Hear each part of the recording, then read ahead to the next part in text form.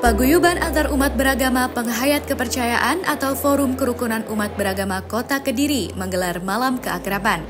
Dalam kegiatan itu, dibacakan deklarasi pemilu damai serta tanda tangan komitmen pemilu damai oleh Forkopimda dan FKUB.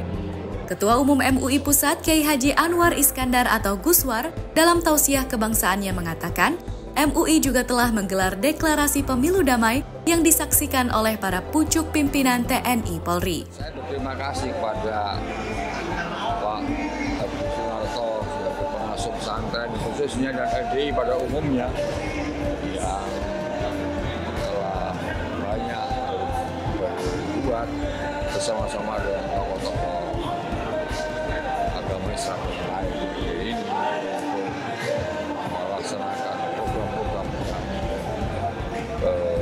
baik untuk apa kebaikan bersama.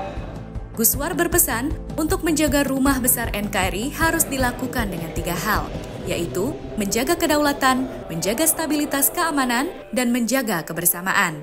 Tujuannya untuk melaksanakan sila ketiga Pancasila, yaitu Persatuan Indonesia.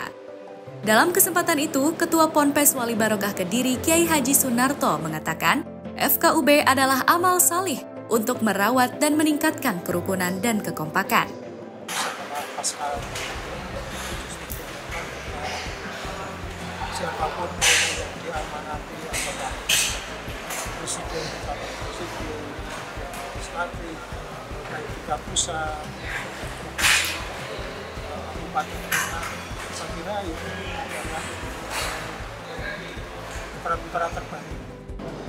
Menurutnya, Kota Kediri telah dinobatkan peringkat kelima dalam hal kerukunan umat beragama.